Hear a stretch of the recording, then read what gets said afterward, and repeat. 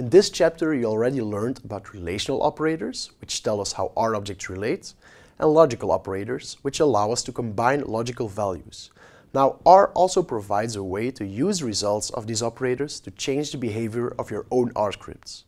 Sure enough, I'm talking about the if and else statements here. Have a look at the recipe for the if statement. The if statement takes a condition. If the condition evaluates to true, the R code associated with the if statement is executed. The condition to check appears inside parentheses, while the R code that has to be executed if the condition is true follows in curly brackets. Let's have a look at an example. Suppose we have a variable x equal to minus 3. If this x is smaller than 0, we want R to print out x is a negative number. How can we do this using the if statement? We first assign a variable x and then write the if test. If we run this bit of code, we indeed see that the string x is a negative number gets printed out.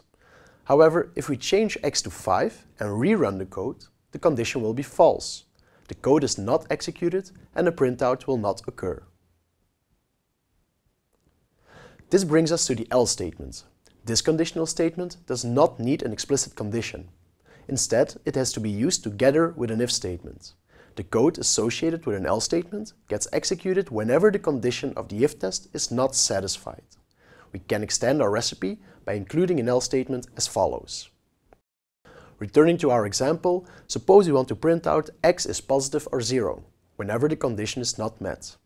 We can simply add the else statement. If we run the code with x equal to minus 3, we still get the printout x is a negative number, because the if condition is true. However, if we now change x to 5, the text x is either a positive number or 0 is printed out. The x smaller than 0 condition was not satisfied, so R turned to the expression in the else statement. There are also cases in which you want to customize your programs even further.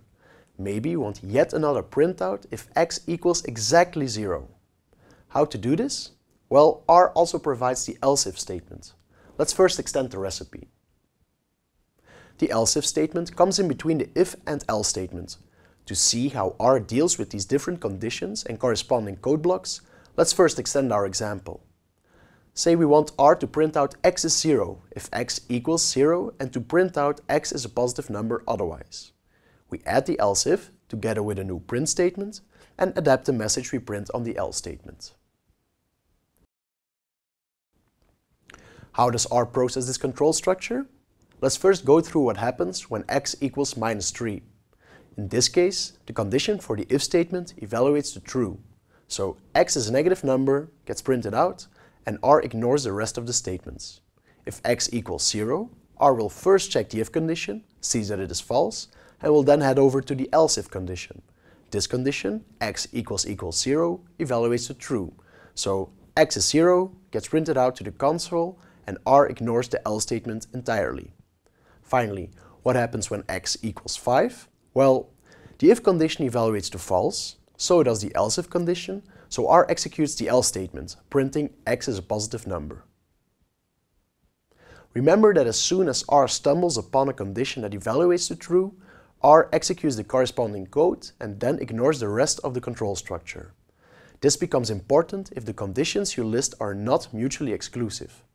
Have a look at this example that sees if a number is divisible by 2 or by 3. When x equals 6, the first condition evaluates to true, so R prints out divisible by 2. Now R exits the control structure and will not look at the rest of the statements. So although the second condition, for the else if part, would evaluate to true, nothing gets printed out.